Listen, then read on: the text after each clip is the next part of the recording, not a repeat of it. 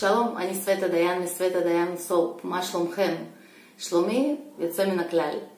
בסרטון של היום אנחנו נדבר על מה זה trace, מה זה אמולסיה, מה זה אמולסיה יציבה ומה משפיע על ה trace, על מהירות של ה trace, איך לזהות אמולסיה, מה לעשות ואיך להתמודד עם שינויים בסבון בלתי צפויים שיכולים להתבטא בסבון מכוער או סבון אה, עם כיסי אוויר או סבון שהעיצוב שלו יוצא לא כמו שתכננו.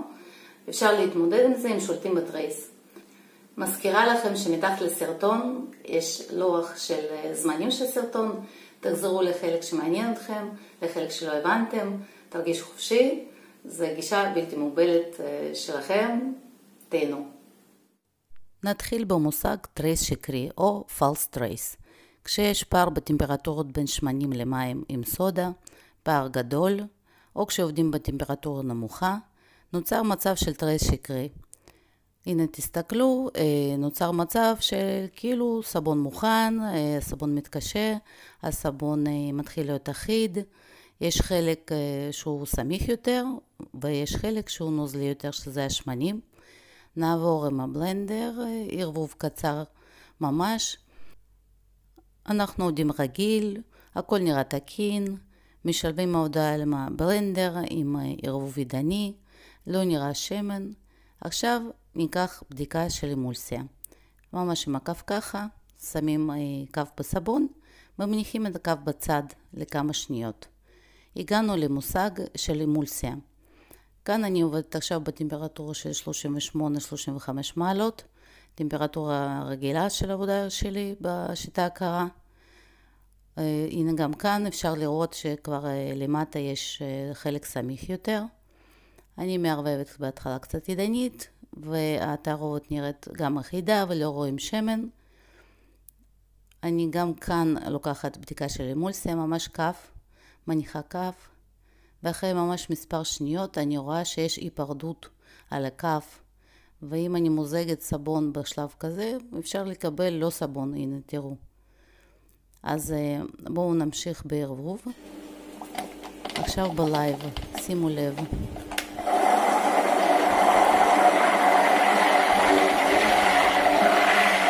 שמונה שניות של ערבוב לסבון של 600 גרם. אה, ערבוב עם הבלנדר אה, עובד וקצת עם הבלנדר פחות עובד. אני בודקת אמולסיה שוב פעם. תשימו בחלק העליון סבון שערבבנו עם הבלנדר, יש אמולסיה יציבה, ובחלק התחתון אמולסיה לא יציבה. שימו לב שאם אנחנו מוזגים סבון באמולסיה לא יציבה, הסבון פשוט לא יצא. טעות מאוד נפוצה אצל מתחילים. הגענו לסבון בשלב אה, trace אה, מאוד קל, תסתכלו, trace זה עקבות אה, שנראות ממש ממש עדינות על פני הסבון. עכשיו אני מחלקת סבון לחלקים זהים, כי אני רוצה לבדוק השפעה של כל מיני גורמים ל trace ולמהירות שלו. דבר ראשון, אני רוצה לבדוק את הטמפרטורה. אני לוקחת סבון בטמפרטורת החדר, שמה במים חמים, מערבבת ידנית, אותה כמות של שני הסבונים, בודקת טמפרטורה, 1.33 מעלות, 1.42, הסבון שב-42 מעלות, בואו נבדוק מה עם ה trace שלו. ה trace על פניו נראה אפילו יותר אה, דליל מהסבון שלא היה בחימום, אבל אחרי כמה דקות של עמידה בצד, הסבון המחומם מתקשה מהר יותר. דבר הבא שאני רוצה לבדוק זה השפעה של סוכרים על מהירות התריס. אני הוספתי סירופ אגבה לאחד הסבונים, לאחד החלקים, ואפשר לראות שסבון עם סירופ, עם הסוכרים, סמיך יותר, מהר יותר. עכשיו שמנים אתרים, ציפורן, נאנה,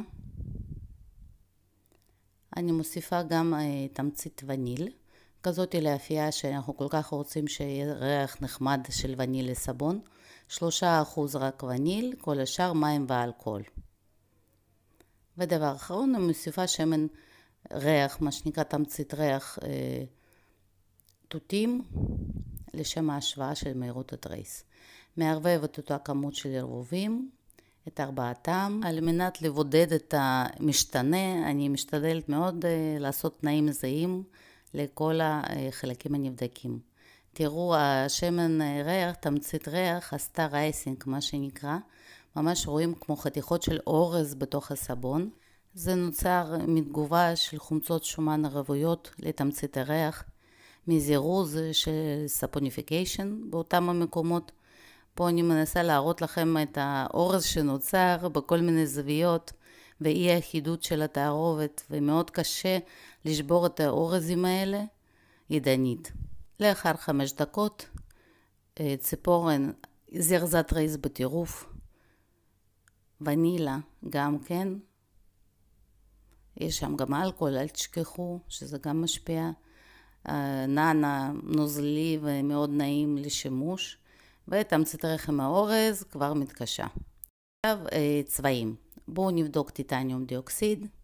אני מוסיפה חימר ורוד, אני מוסיפה מיקה ירוקה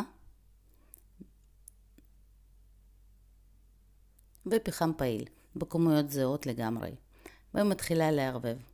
בכלל טיטניום דיוקסיד וכל אוקסידים מומלץ לערבב אותם עם הבלנדר. אני עושה את העירוב הזה ידני. אה, חימר, למרות שממליצים כן להעמיס קודם עם המים, אני מוסיפה אותו as is לתוך התערובת. מיקה מתערבבת מהמם, זה חומר שהוא מיועד לעבודה עם סבון. ופחם פעיל, אני גם שמתי אותו ככה, איכשהו. אחרי חמש דקות טיטניום דיוקסיד מסמיך את הסבון, מעט פחות החימר, מיקה הסבון נוזלי ונעים, ופחם פעיל, אה, התריס מזורז. דבר הבא שאני עושה אחרי כל הניסויים שלי שאני ביצעתי, אני מוסיפה שמן היתר איננה ולמונגרס לכל הסבונים שהיו בלי ריח, ושופכת אותם פשוט לכלי אחד. כי בסופו של דבר זה סבון, למרות שכל סבון וסבון אה, עם תכונות אחרות ועם צבעים אחרים, אבל אה, אני לא זורקת שום דבר. כמו גם הכלים, זה כלים חד פעמים אולי לאחרים, בשבילי אני משתמשת בהם שוב ושוב, פשוט שוטפת אותם מנקה ומשתמשת שוב פעם. אה, שמה הכל פשוט בתוך התבנית, סביר ספונטני, ואחרי 24 שעות אני חותכת את הסבון בשביל לראות איך הוא נראה. אין אה, תענוג יותר גדול מלחתוך סבון. מי שעושה סבונים יודע. בחיתוך אפשר לראות שיש את החלק החום, זה חלק אה, של אה, וניל שהיה, שהוספתי, הוא גם מתפורר יותר כנראה בגלל האלכוהול שהיה בתערובת. אפשר לדון ולחשוב הרבה ולהגיד סווטה, הזירוז היה ממש מינימלי, את בדקת ולא ראית אה, הבדל כל כך משמעותי, אבל אם אנחנו ניקח גם וגם וגם, גם סוכרי וגם חימרים וגם ערבוב עם הבלנדר, אז נגיע למסקנה שכל הגורמים ביחד מזרזים את הטרייס וצריך להיות מוכנים לזה. תודה רבה על הצפייה, ניפגש בסרטון הבא.